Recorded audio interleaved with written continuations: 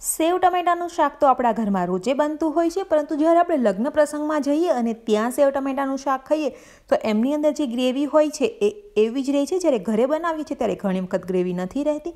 તો કઈ કઈ વસ્તુનું ધ્યાન રાખવું છે તો વિડીયોને સ્કીપ કર્યા વગર જોજો. તો મેં અહીંયા બે ટામેટાં લઈ લીધા છે, અડધો કપ સેવ લીધેલી છે અને બે કળી લસણની આ રીતે કટ કરીને લઈ લીધી છે. હવે એક પેનની અંદર આપણે બે ચમચા જેટલું તેલ ગરમ કરવા માટે મૂકી દઈશું. આપણું તેલ ગરમ થઈ જાય એટલે એમની અંદર અડધી ચમચી જીરું અને અડધી ચમચી રાઈ એડ કરી દેવાની છે. ત્યારબાદ લસણ એડ કરી દઈશું અને લસણને બરાબર સાંતળી લેવાનું છે.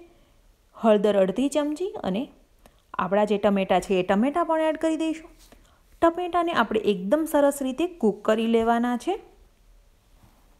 લગભગ બેથી ત્રણ મિનિટ માટે કૂક કરીશું, ત્યારબાદ મીઠું અને ખાંડ એડ કરી દઈશું.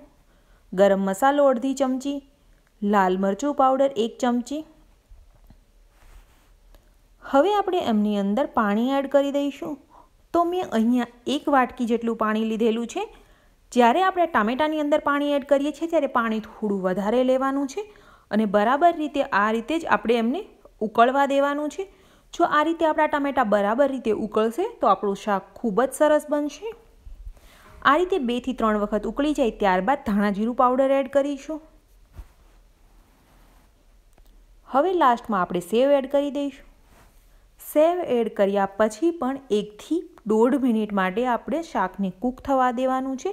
તો આપણે જ્યારે સેવ એડ કરીશું ત્યારે પણ એમની અંદર પાણી હોવું જોઈએ. કારણ કે સેવ એડ કર્યા પછી સેવ છે એ પાણી સોક કરી લેશે. તો હવે આપણે ગેસની ફ્લેમને બંધ કરી દેવાની છે. તો તમે જોઈ શકો છો કે સેવ એડ કરીને એકથી બે મિનિટ પછી પણ આપણું ગ્રેવી છે એકદમ એવી જ રહી છે. ત્યારબાદ ધાણા એડ કરી દઈશું. તો આપણું સેવ ટમેટાનું શાક તૈયાર છે સર્વિંગ પ્લેટની અંદર લઈ લેશું. તો તમને આ રેસીપી કેવી લાગી મને કમેન્ટ કરીને જરૂરથી બતાવજો અને નેક્સ્ટ ટાઈપ આ ટિપ્સને પણ તમે ધ્યાન રાખીને જ બનાવજો.